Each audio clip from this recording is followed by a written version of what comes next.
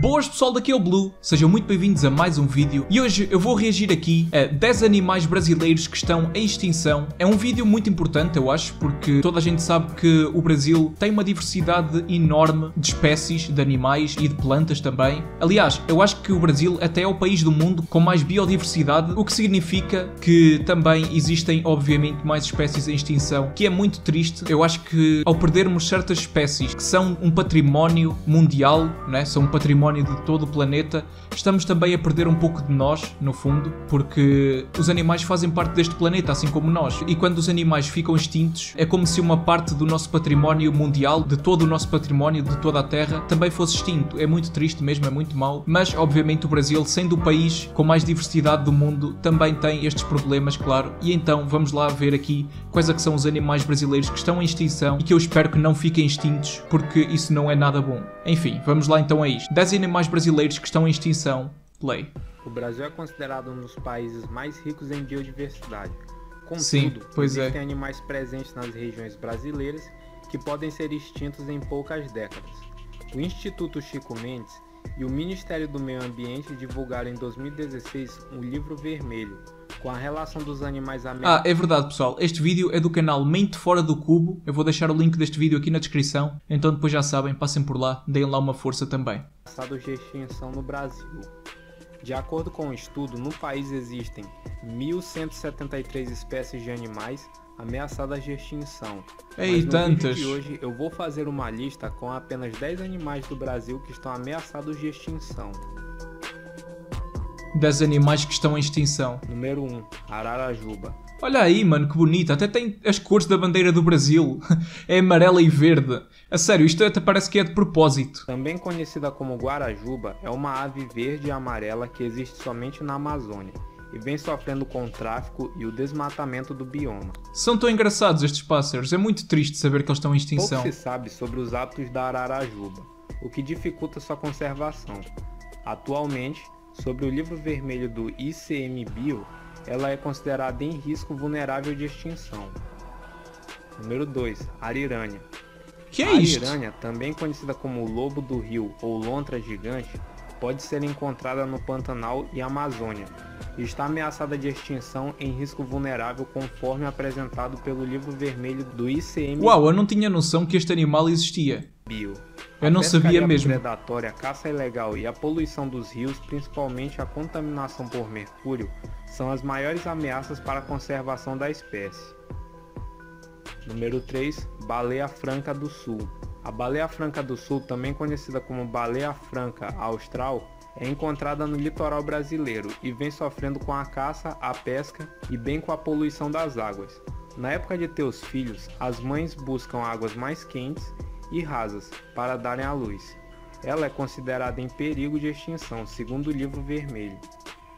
Número 4, boto cor-de-rosa.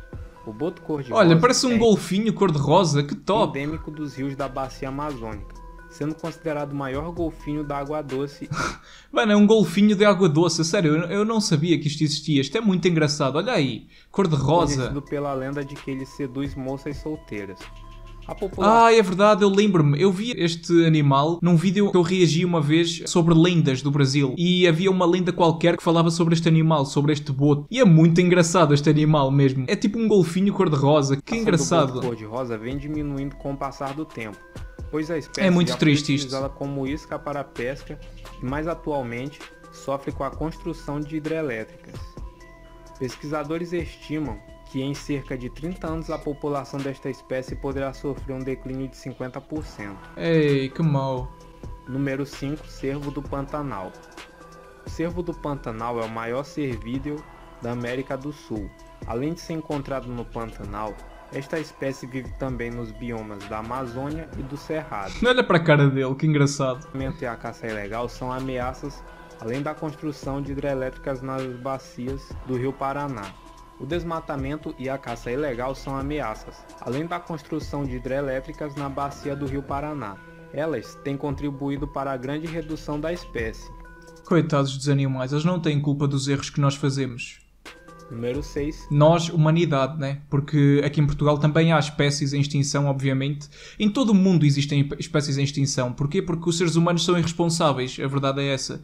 E não se preocupam muito com os animais. Cuxio preto.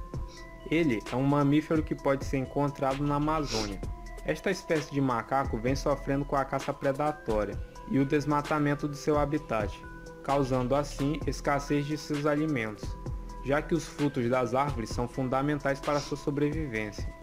Número Coitados. 7, gato maracajá. Que coisa fofa, olha, olha para estes O olhos. gato maracajá Que sofreu top. durante décadas com a caça para a venda de sua pele. Ele é Coitados. encontrado nos biomas da Amazônia, Cerrado, Mata Atlântica, Olha aí, eles têm uns olhos muito arregalados, tipo assim. Uau. Pampa e Pantanal. Atualmente, o desmatamento é o maior problema enfrentado pela espécie. Parece que o desmatamento é o maior problema de quase todas estas espécies, menos da baleia e do boto, né, porque são animais aquáticos, mas nos animais terrestres dá para perceber que o desmatamento é das causas que mais ajuda na sua extinção. Pelo menos é isso que me dá a entender causou a aqui. destruição de seu habitat natural. Número 8, Jacutinga.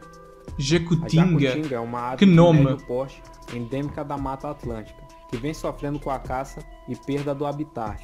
Em alguns estados como Bahia, Rio de Janeiro e Espírito Santo, ela foi extinta, sendo possível encontrá-las somente nos estados de Minas Gerais, São Paulo, Paraná, Santa Catarina e Rio Grande do Sul. Por isso é considerada uma espécie em perigo de extinção. Pois, porque em muitas zonas onde antes existia, agora já não existe. Número 9, lagartixa da areia. A lagartixa da areia é uma espécie endêmica Lagartixa da areia. e tem como habitat as faixas de areia, as quais se estendem por aproximadamente 200 km. A urbanização é considerada uma das principais ameaças que provocam a extinção da espécie, o que causou, segundo pesquisadores da ICMBio, uma redução de 80% da população da lagartixa da areia. Número 10, lobo-guará. O lobo-guará é encontrado no Cerrado, Que fofo, são tão bonitos. E nos Pampas. Esse animal é considerado A mim faz-me mais lembrar uma raposa do que propriamente um lobo. o maior mamífero canídeo nativo da América do Sul.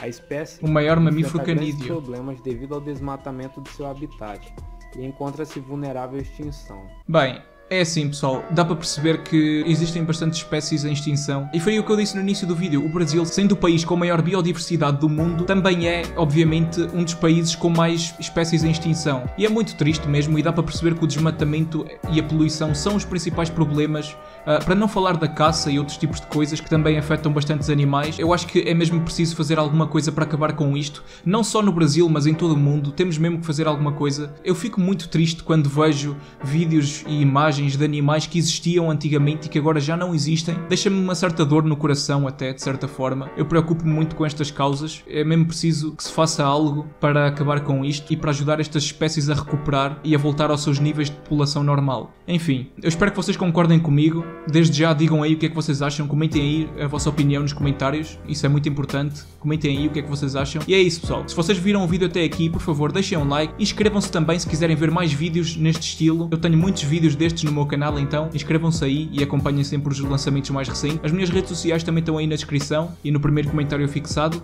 Instagram e Twitter estão aí. Passem por lá. E é isso, pessoal. Muito obrigado a todos que viram até aqui. Eu sou o Blue e até ao próximo vídeo.